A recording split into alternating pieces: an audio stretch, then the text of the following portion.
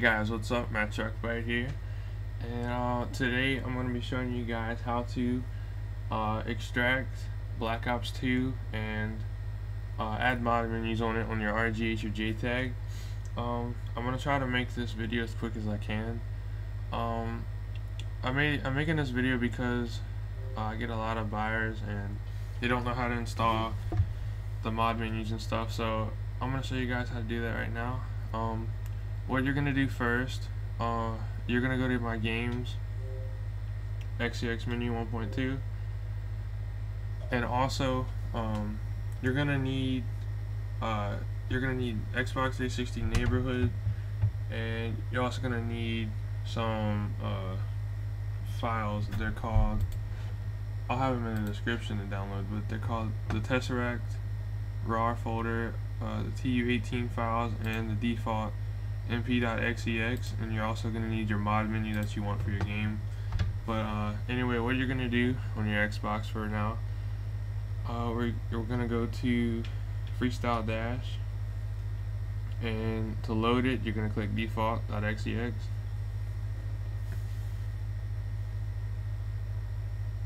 you're going to let that load And then what you're going to do is you're going to go up to utilities and then DVD extract.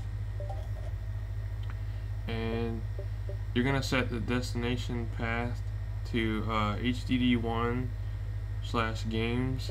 Uh, if you if it doesn't say games, you're going to need to go in HDD1 and you're going to need to make a uh, you're going to need to make a folder.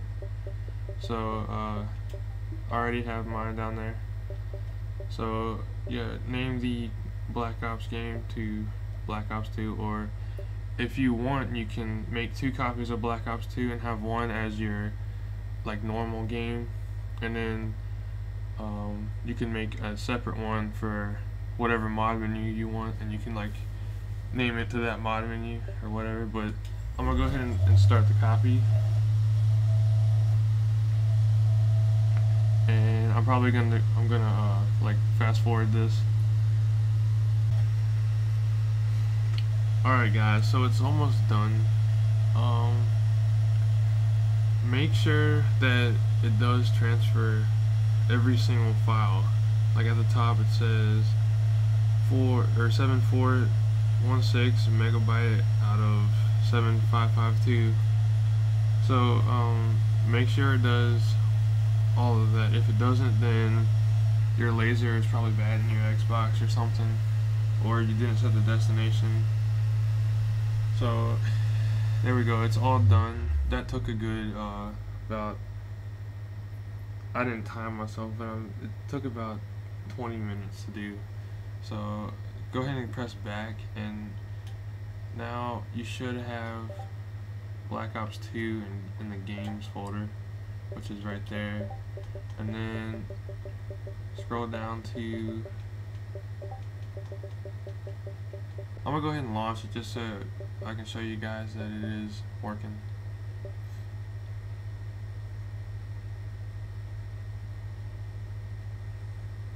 There we go it's loading up. I'm not I'm not gonna wait for it because I don't want to make this video so long so uh what I'm gonna do now is I'm actually gonna eject the disc from the Xbox. Get that out of there. And then uh, we're gonna move over to the computer now. And I'm gonna show you guys what to do on there. Alright, hey guys, I'm on the computer now. Uh, I had to do this two times because I got distracted. But um so what we're gonna do now is you're actually you're gonna need to download these four files right here. And I would recommend neighborhood as well because it saves a lot of time. And then you're gonna need a mod menu. And these are three mod menu menus I have right now. This is the one I'm currently using.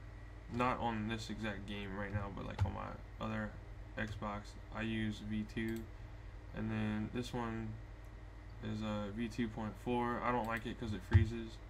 And then this one is uh, V3.1, which I have not tried yet, so I'm going to try this one today.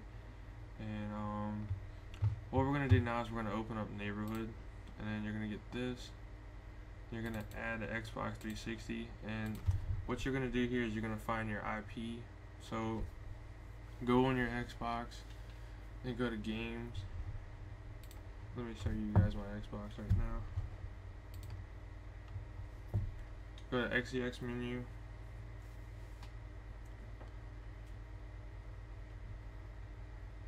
Then press RB two times and then at the bottom it will be your IP so I'm gonna go ahead and type that in.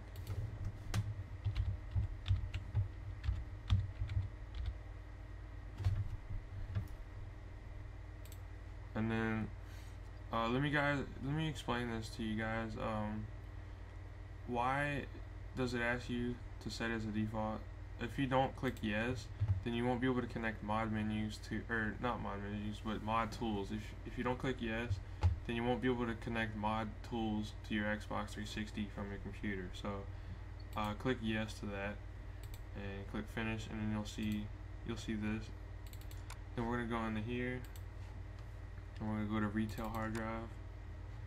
Then we're going to go to games and Black Ops 2. And then what we're going to do here is um, it shouldn't uh, the RAR folder and some of these folders and files won't be in your um, in your game once you extract it because like I said I already did this once I have to do it again so but anyway, we're going to open up the Tesseract folder and go into here. Then we're going to move Tesseract DLL into here. And we're going to go, we're going to move this entire folder right here. And if it if it asks you to replace any of this, just click yes to all. And then open up TU18 and you're going to copy every single one of these uh, files right in here move it click yes to all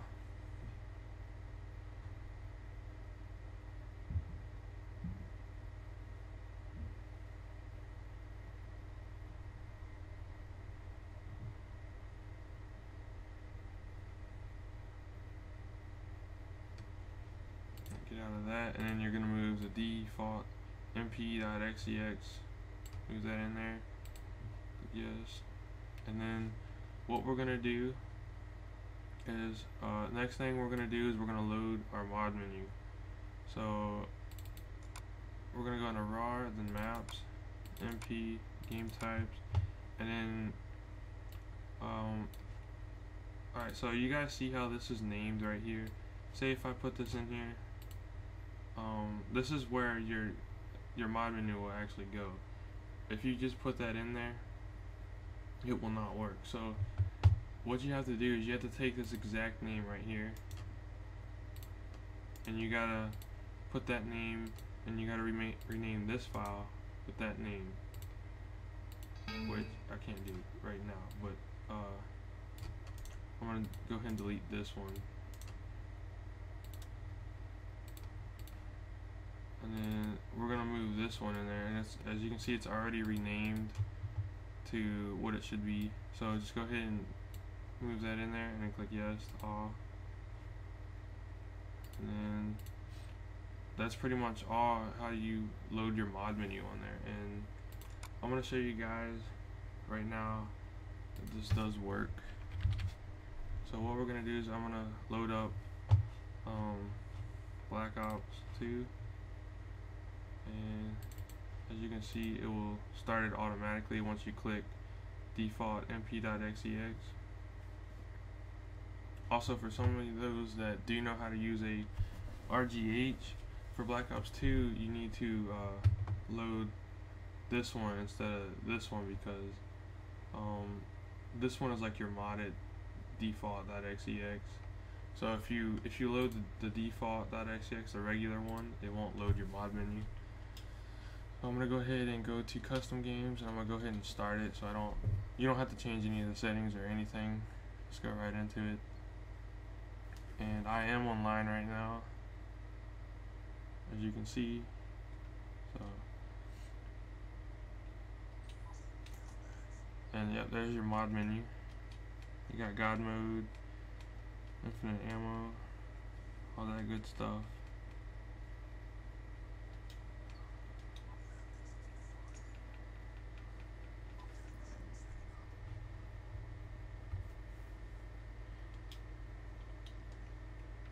Can spawn bots and stuff.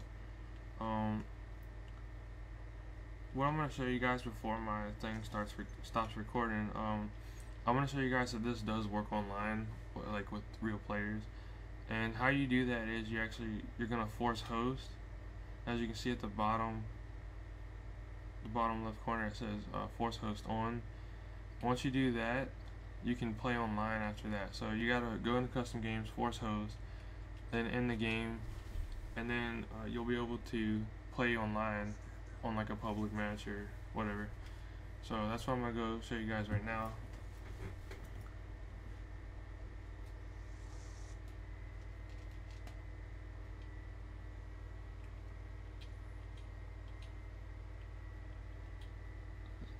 Um, I'm gonna go into team deathmatch.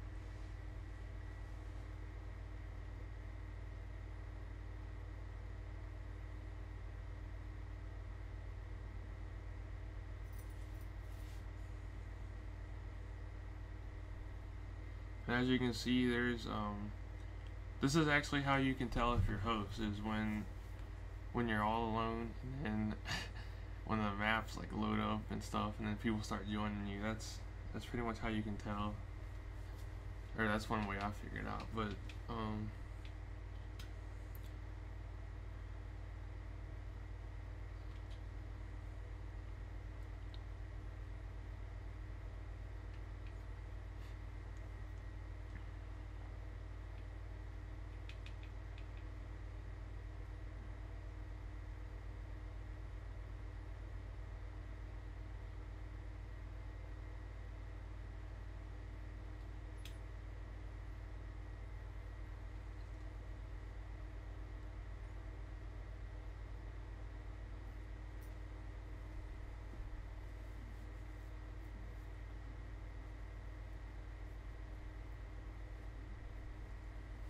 So yeah, this is my first time using this menu online. Um, and there it is. Got God mode, infinite ammo, invisibility. Um, I'm actually gonna make it a uh, sniper's lobby, and we're online right now. Got aimbot right there.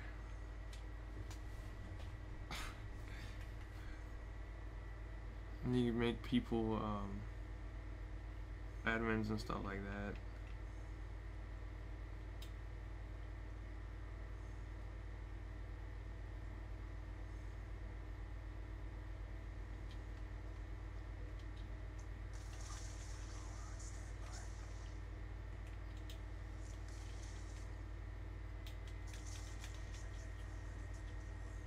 So yeah guys, there's your mod menu. Um, hope this guy I hope this helped you guys out a lot. Um sorry the video was so long but yeah. Uh, don't forget to check out my Instagram and subscribe to my YouTube and check out my Facebook page and all that stuff